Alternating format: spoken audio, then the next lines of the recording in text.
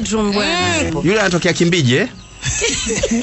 Dar es Salaam si waonaji watu wa vile. Eh? Anatokea Mtwara. Nimemtoa yule. Eh, Tandaimba. We.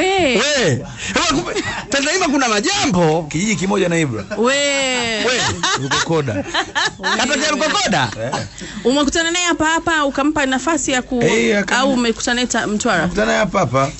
Ah. Hapa. Kwa hiyo Makonde yule.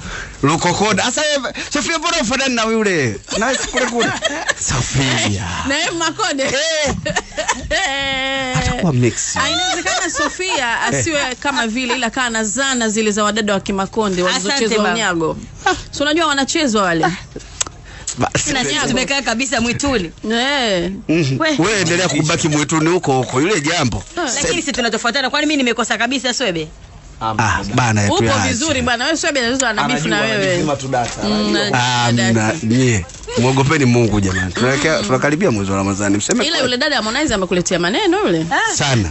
Mimi kuna kaka mmoja juzi ananiambiaje? Nampataje yule? Hivi hivi kweli Harmonize ameachana na mkeo kwa sababu yule dada? akamwambia wewe. Ah, ana Harmonize ana akili hizo. Hawezi kumwacha. Ana akili hizo. Sasa tutachana vipi kwa sababu yule dada tulikuwa naye kwenye mahusiano. Sasa Eh. tutachana vipi na mke wangu? Umeona eh? Eti. Basi watu wakasema eti ulikuwa unatoka naye. Ah, sio kweli. Sio. So, eh. Nimeona watu wengi wamecomment hiyo kwamba hiyo mzigo yangu. umeuacha kweli. Ni rafiki yangu. She is my friend kabla hata hajashoot hiyo video. Okay. Na kama nilivyokuambia natoka Mtwara yule.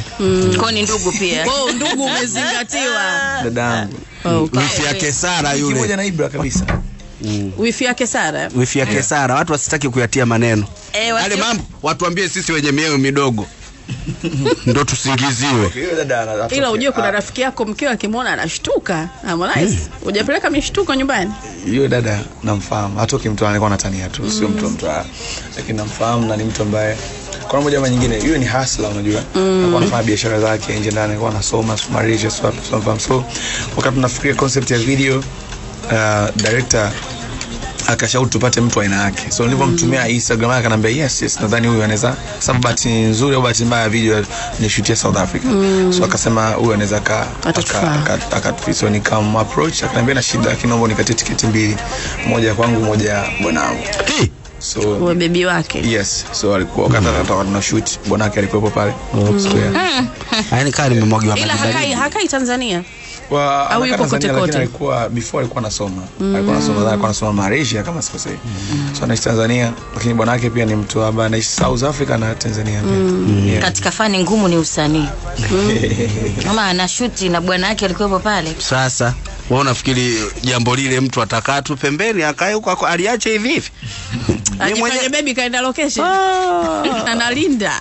eh madirector anakuwa na una uchu sana madirector madirector. Akina askana askana Eh, na ukijifanya hutaki sana unapigwa shoti za miguu tu. Sasa yule anataka jamaa ndo kakaa hivi namna hii. Akina askana anakuwa Ila ulipata wakati mgumu kushuti ile video au it was easy? No, it was easy kwa sababu nilishajua kwamba naenda kushoot video aina gani.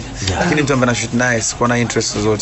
Alafu uzuri kwamba alikuwa na bwana wake kwa pale so ni Haikukusumbua. Na hiyo ndio ilikuwa bahati yake. Bwana wake alikuwa pale pale. Kwa maelezo lakini nanukuu maelezo. Bahati kwa nani sasa? Sasa bahati yake kwa nani? Kwa Harmonize. Yule bwana naye si alikuwa pale pale ndio hilo ndio lilikuwa tatizo. Interest za vile vitu vikapotea.